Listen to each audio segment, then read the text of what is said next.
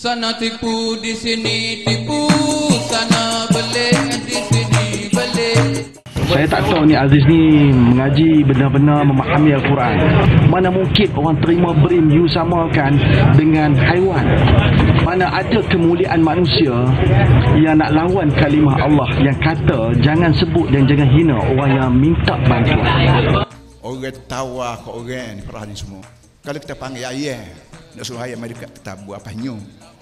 Kita buat padi, guru mari. Kalau nak panggil lembu, kubah yang itik, kubah bir. Kita bubuh. Upu, jerami, padi, tu mari.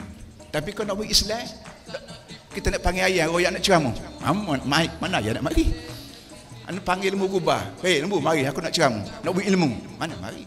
Jadi kalau kita buat barang ke orang, sumpah apa tak lembu? 10 ya, 50 ya.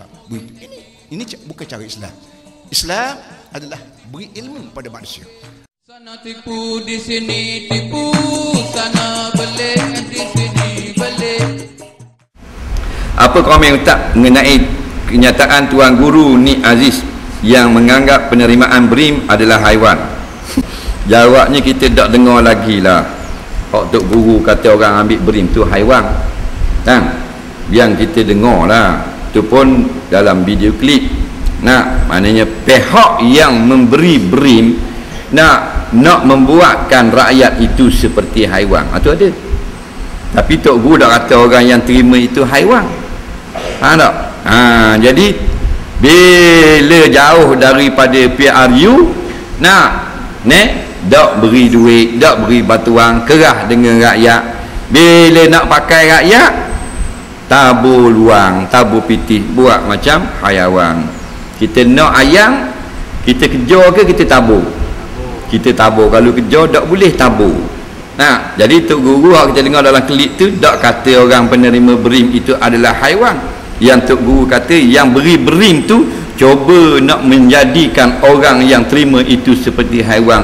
Hinanya tukang beri berim ni. Ha, tu maksud dia. Kemudian di mana pulik, dipulah. Swing dia panggil. Nampak? Ha, swinger. Nampak? Ha. Jadi dipusing balik supaya orang marah. Nah, patulah benda-benda gini kena berhati-hati. Nak-nak pada zaman ni. Eh, zaman seminggu dua ni. Ramai orang gila nak jadi calon. Mana? Dia tak sedar. Bosnya menjadi menteri, menjadi pemimpin adalah amanah tu berat. Nah, dan tanggungjawabnya berat.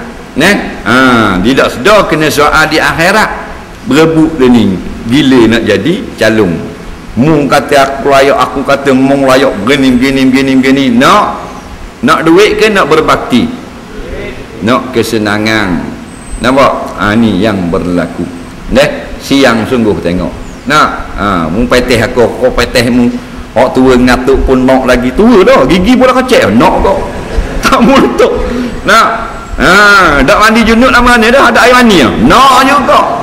Nah, ada orang ni akhir zaman. Jadi, yang mana-mana layak dan dia bukan nak jadi pemimpin sangat tapi dia layak, dia dia amanah kalau dia orang ramai, maka dia akan mendapat pertolongan Allah. Orang yang berebut nak sangat-sangat, maka Allah tak akan tolong. Bila Allah tak tolong, dia menang, maka dia akan melupakan tanggungjawabnya selama lima tahun dan bila menjelang lima tahun dia akan masuk kapung nak belanja orang minum air, nak belanja orang makan nasi, lening lambat tengok orang dukung anak dia pun ambil dukung wak lambung. Au cak. Au cak. Au kepala hotok mu faham tak? 4 tahun dah mu dak masuk kampung gua ni ni mai dukung anak orang. Apa tujuan? Tujuan je sanilah kalau kabur kan marah pula. Faham-faham dah. Jadi kita biar cerdik lah.